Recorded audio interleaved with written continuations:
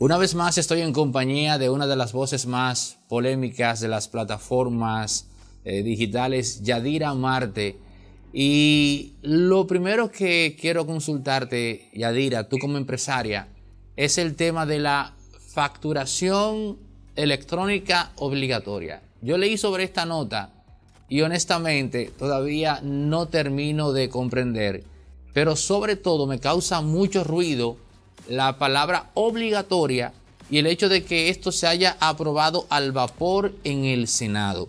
¿De qué estamos hablando cuando se nos dice facturación electrónica obligatoria?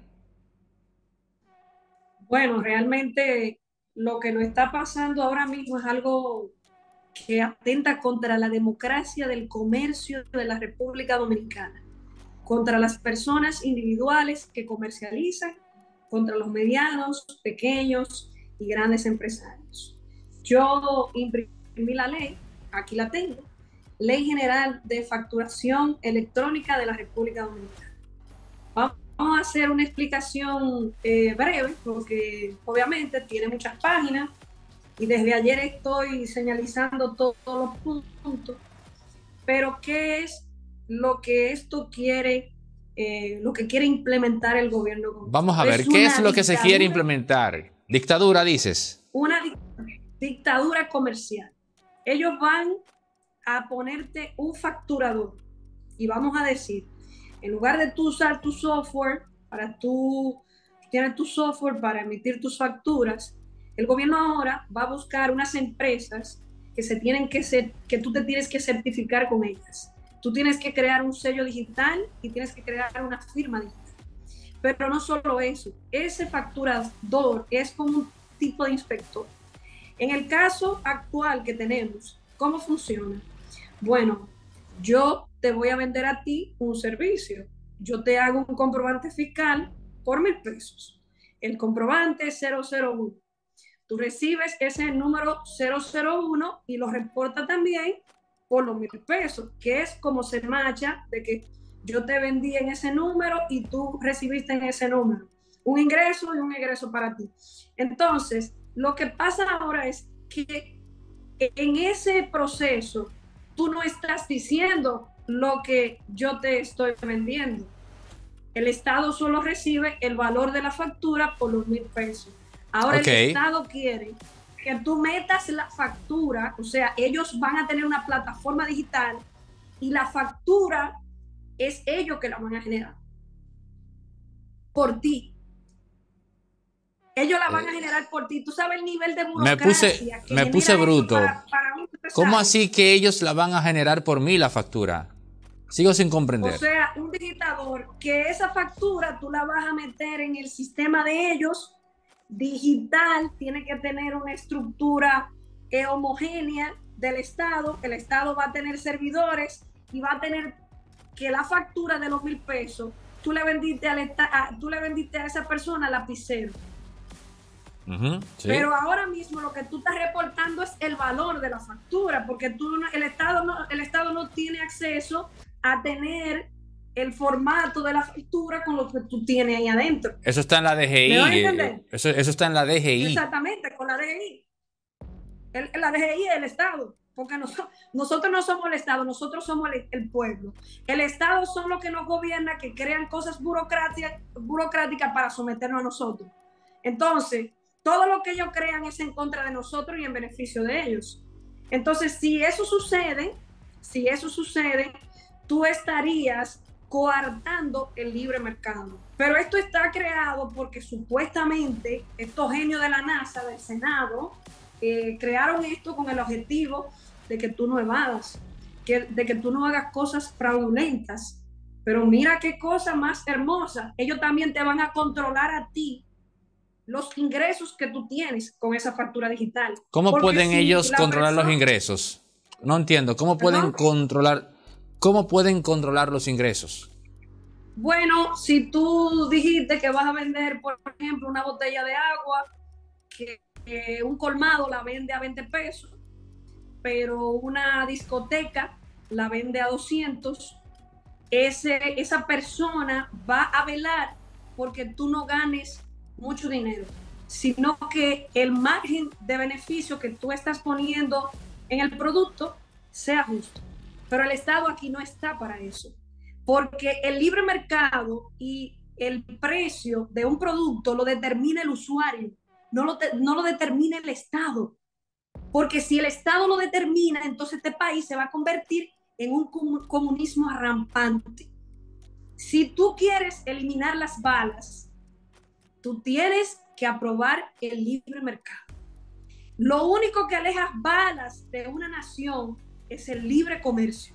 En el momento que el Estado quiere controlar cuánto dinero tú te debes ganar, qué tú tienes que vender, cómo lo vas a vender y ellos tener el control total de toda esa información que puede ser mal utilizada, porque yo te voy a decir algo, si Aneudi vende su servicio de redes sociales a 50 mil pesos y Pedro vende su servicio de redes sociales a, no sé, a 45 mil. Y el Estado mira que hay una persona que lo vende a 25 mil, entonces el Estado va a comparar y va a decir, no, Aneudis, tú no lo puedes vender a 50 mil, pero los usuarios tuyos, Aneudis, tú no le pones una pistola para que te lo compren a 50 mil, ellos son libres de decidir comprarlo a 50 mil. Y eso es lo que hace que haya ese, esa armonía en el libre mercado. La discoteca vende en el agua a 200 pesos porque son una discoteca, el que va y está dispuesto a pagar el agua a 200 pesos, a nadie le ponen una pistola, ni, le están diciendo que es injusto.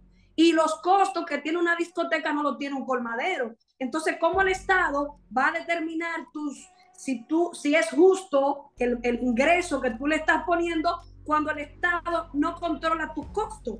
Porque el Estado no sabe los costos operativos que tú tienes. ¿Por qué tú estás poniendo Muy buen punto ese, buen punto, el control de los costos, muy buen punto. O sea, eso no tiene sentido. El Estado no puede ponerte a ti una persona para que determine eso. Además, en una escala de tú decir empresas grandes, empresa mediana y empresa pequeña, en este país no hay cómo determinar eso a nivel impositivo, porque ¿qué es una empresa grande? Una empresa que tenga 5 mil empleados o 10 mil empleados, pero una empresa pequeña que tenga 70 personas puede tener mejor facturación y puede tener mejor rentabilidad que una empresa en volumen de empleados. Ahora, una, Yadira, este, este tema... Yadira, ahora, esta facturación electrónica obligatoria ya eh, al pasarse por el Senado ya está aprobada como tal, no, no entra a un proceso de ratificación final, no hay forma de echarlo atrás. Bueno, nosotros vamos a investigar eso de manera eh, personal. He hablado ya con algunas personas y nosotros vamos a impugnar eso. Te voy a decir por qué.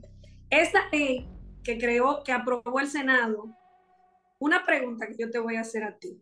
¿Quién se va a hacer responsable de todas las quiebras y fallos que genera esta ley, porque te voy a, explicar. A nivel legislativo, no, a nivel de jueces, en este país no hay jueces comerciales. Aquí solo se maneja la justicia civil, porque todo en este país es civil. Aquí los jueces no saben de comercio. Aquí el comercio judicial no existe.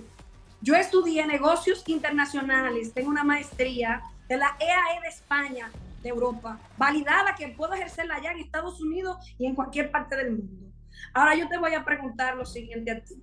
Si este país no ha legislado para las cosas digitales, ¿cómo pueden crear cosas digitales? Por ejemplo, si tú me debes 200 mil pesos, tú sabes lo que te pide un juez cuando tú vas a hacer una factura que tú le vas a cobrar a una persona que no te quiere pagar esa factura y que te quiere engañar. ¿Tú sabes lo, primero que te dice el juez? El juez te dice a ti que para proceder con ese cobro de esa factura, tú tienes que depositarle la factura en original. ¿Y tú sabes qué significa eso? Que la factura debe estar sellada y firmada por quien recibió la mercancía o el servicio, que es el aval que el juez tiene para decir, no, o sea, es el comprobante, lo recibió y la factura dice pago en original. Entonces, si yo emito esa factura digital y se la mando a la persona en crédito y la persona no me paga, ¿cómo yo puedo cobrarla? Ok, Yadira, cambiando de tema, tu impresión en torno a la resolución del Intran de la mano de Hugo Veras para prohibirle a los motoconchistas que después de las 11.30 de la noche no anden con acompañante en un motor. Bueno, realmente eso es algo inconstitucional. Primero, artículo 6 de la Constitución dice, toda ley o todo derecho o todo decreto que entre en contradicción con la Constitución queda nula de pleno derecho. Entonces, esa ley, el artículo número 8, lo está violando. Y te lo voy a leer. Es función esencial del Estado la protección efectiva de los derechos de las personas, el respeto a su dignidad y a la obtención de los medios que le permitan perfeccionarse de forma igualitaria, equitativa, progresiva dentro de un marco de libertad individual y de justicia social compatible con el orden público y el bienestar general de los derechos de todos y todas. Entonces, ahí hay una contradicción con lo del Intran, porque no está de forma igualitaria ni equitativa. Tú no puedes, eso es un toque de queda. O sea, que tú le digas a un sector X de la población que solo puede transitar de 5 y media a 11, ya está violando el artículo número 8, también viola el artículo número 6 y viola el artículo 72 de la Constitución, que es abuso de poder. Y tú puedes someter a cualquier funcionario público que cree que la sociedad, la sociedad no puede hacerlo. Y sí podemos, lo que pasa es que la gente no conoce su derecho.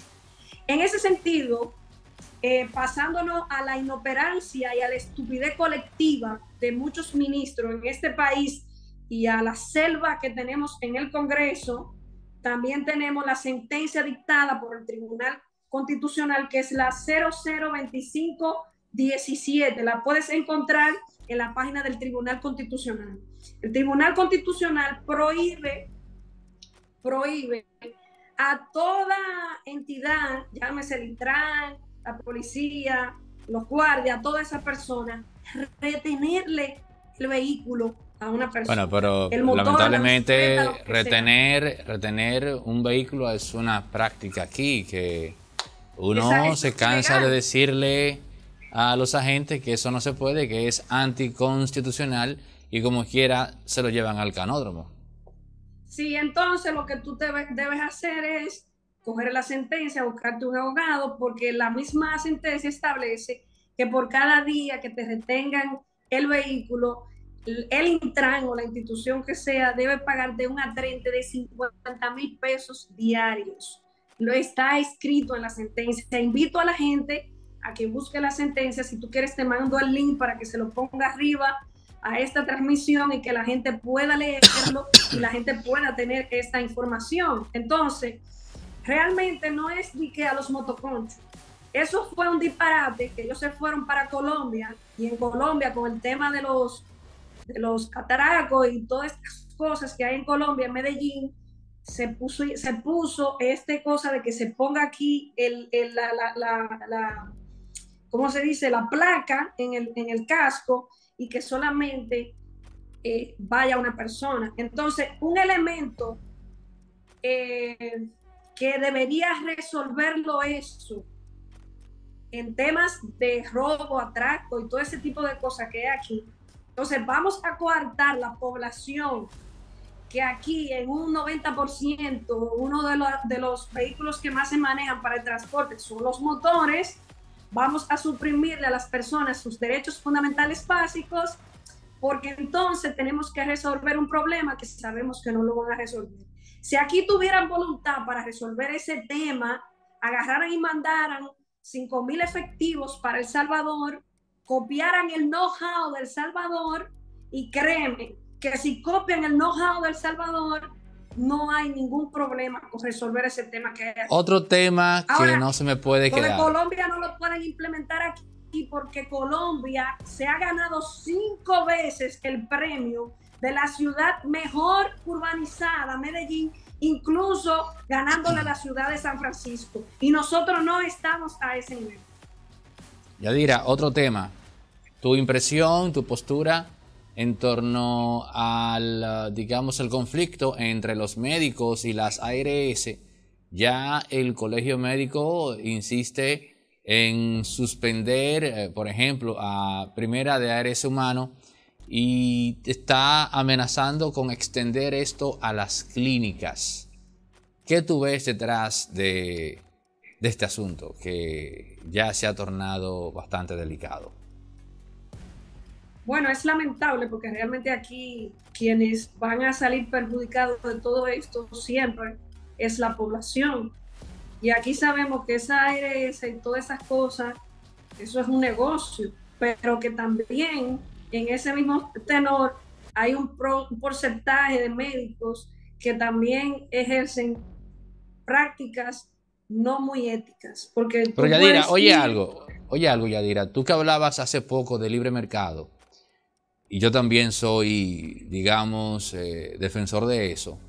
Pero te paso el dato siguiente, a ver cuál es tu opinión, de que esto es un asunto político.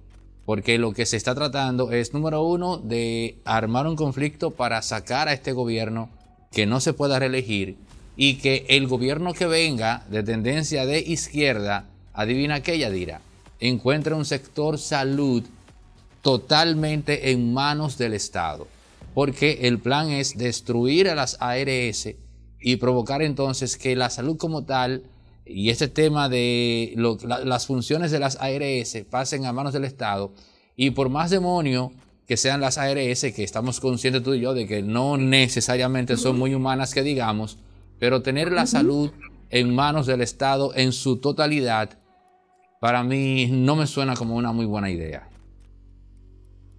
Mira, yo soy partícipe de no trabajar los extremos. Siempre para que las cosas funcionen bien, tiene que haber equilibrio.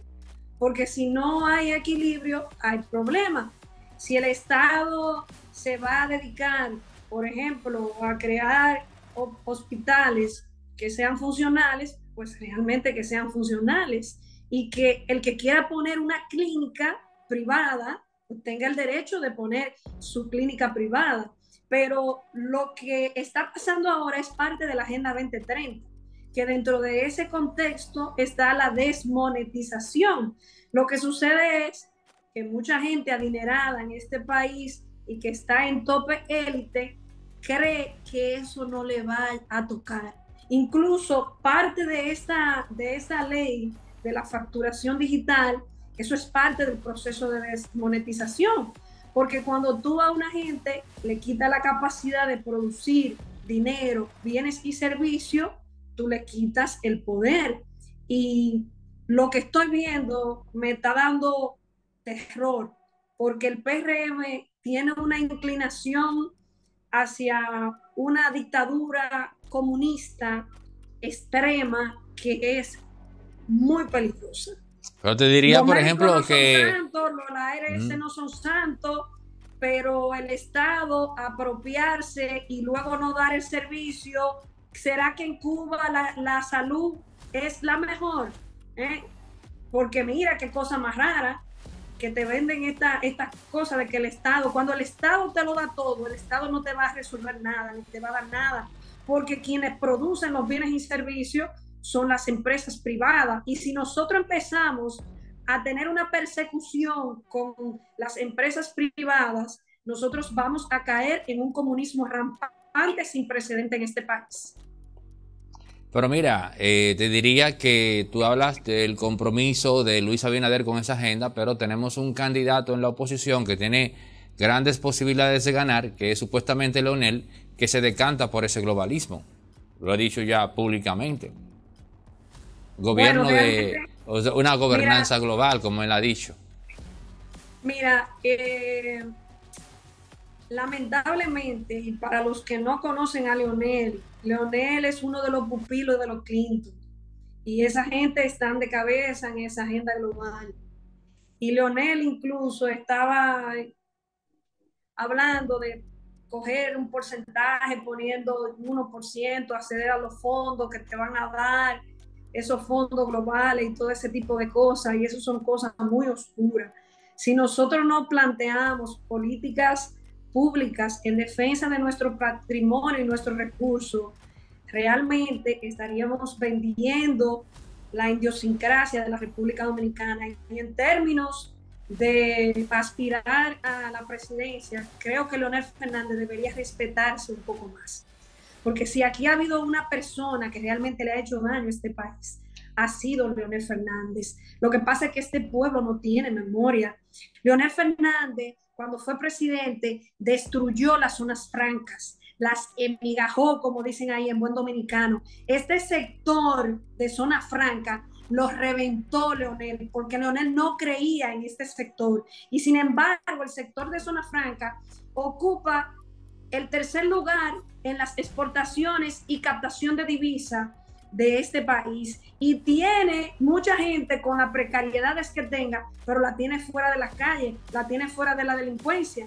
Y, y, y aquí llega trabajo, por lo menos se captan dólares para pagar los préstamos que ellos, que ellos hacen a nivel estatal. Y hay mucha inversión extranjera que eso le da estabilidad al país. Leonel nunca creyó en zona franca. Leonel desmembró las instituciones públicas de este país de una manera voraz. Leonel hizo la peor negociación estatal que la hizo con la Barrigol, con un contrato de, exporta, de, de extracción de oro 97.3.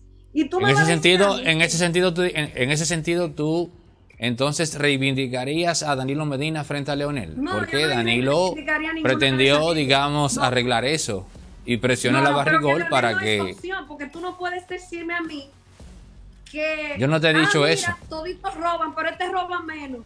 O sea, nosotros, nosotros, eh, o sea, ¿en qué cabeza cabe que Leonel te hace un discurso de apátrida, de yu sanguíneo, de yu sol y de constitución, cuando Leonel fue que hizo que aquí se le diera papel a Vicente y otro 20 con la, con la 169-14?